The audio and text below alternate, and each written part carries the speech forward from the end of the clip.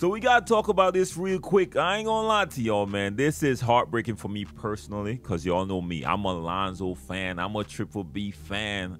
I love Lonzo, LaMelo, and LiAngelo. I want all of them. I want LiAngelo to get into the league so bad, man. So I've been rooting for this brother for a while now.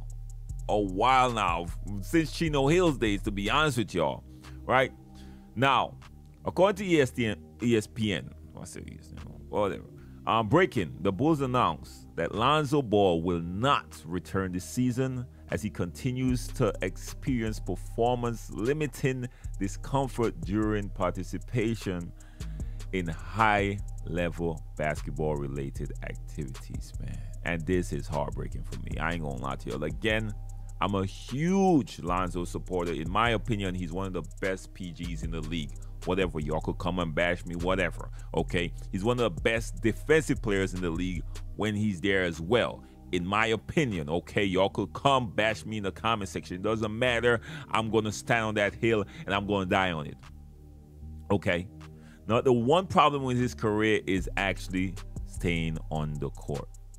And I hope he fixed this problem, bro. I hope, I hope he comes back next year, next season with vengeance and just, you know, because so far he haven't been able to really reach his full potential in my opinion.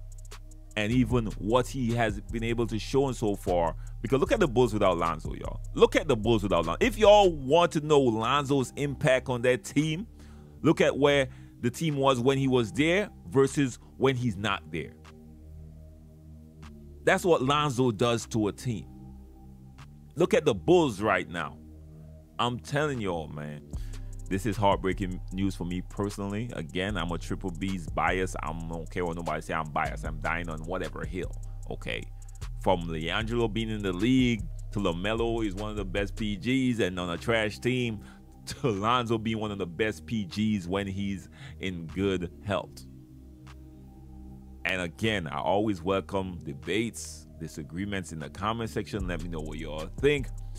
But yeah, man, it's sad that I I'm reporting this, man. Have a blessed one. Until next time. Be safe out there, y'all. Got my Peace. channel back. Got my channel back. All them haters did was give life to Brute Reacts. Bringing you the news and can't nothing hold us back.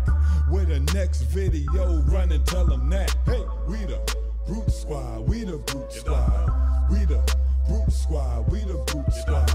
We the Brute Squad. We the Brute Squad. We the Brute Squad. We the Brute Squad. We the Brute Squad.